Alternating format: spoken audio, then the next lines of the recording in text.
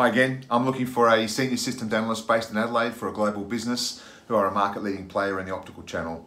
Their products are sold in over 100 countries and they pride themselves on their technical innovation. Reporting to a senior manager based in Europe with a dotted line to the head of operations here in Adelaide, your key objective is to oversee a major warehouse management system upgrade for the business, extending to other warehouse control and automation systems, and will provide solutions for the site operations leadership team regarding future enhancements and capabilities.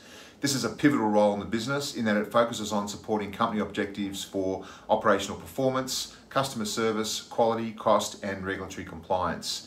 You will fundamentally provide technical leadership for the implementation of a JDA warehouse management system and at the same time analyse the effectiveness and efficiency of existing business processes, systems and technologies used by logistics operations and develop strategies for improving and or leveraging these systems.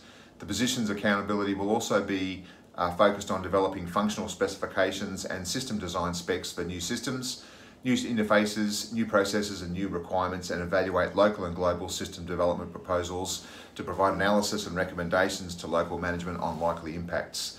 The successful person will have a bachelor degree and solid experience in logistics IT systems, including warehouse management systems, warehouse control systems, interfaces to ERP systems, and automation. Exposure to JDA would be a distinct advantage, but it's not mandatory. Um, any exposure to a warehouse management system is okay. I'm looking for someone who is familiar with remote data capture technology and automation control systems as well. So a high level of IT literacy, concepts and terminology is expected.